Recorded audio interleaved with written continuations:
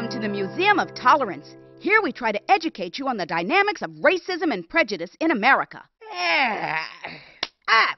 Now, did you know that words we use can show intolerance? Let's begin our tour with a walk through our tunnel of prejudice to show you what it can feel like to be discriminated against. Queer, Beaner, Chink, Nigger, Heeb, Faggot! Cracker. Oh man, this is awesome! Now you know how it feels. I want to ride again, I want to ride again!